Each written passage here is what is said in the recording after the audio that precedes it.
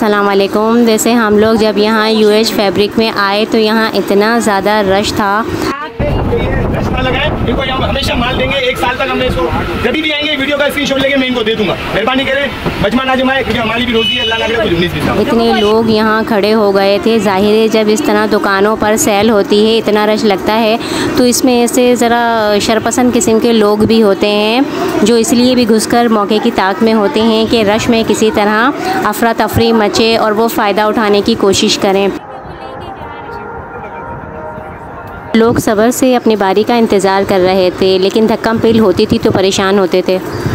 तो ये लोग भी बहुत परेशान हो रहे थे, लेकिन लोगों को बहरहाल ये दिखा रहे थे।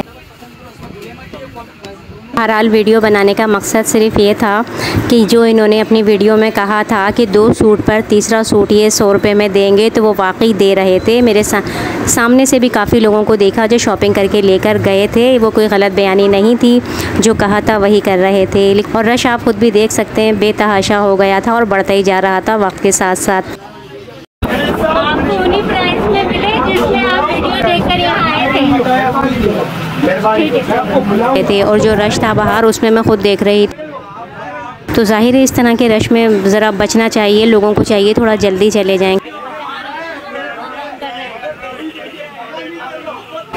यहाँ आए हुए हैं तो इधर आपको वो चीज़ मिल रही है जो इन्होंने बताया है बिल्कुल जो चीज़ इन्होंने बोली है वो दे रहे हैं। लेकिन रश की वजह से ये परेशान हो रहे हैं। क्योंकि देखिए रश कितना है।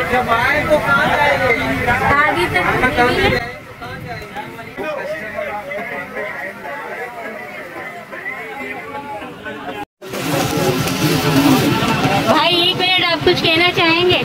रश के और सबको लोगों को एडवाइस करना करता चाहते हैं कि ये रश ना लगाए।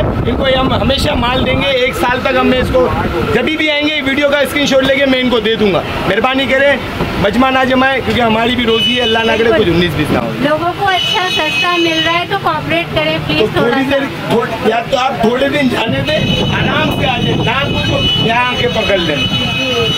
डबल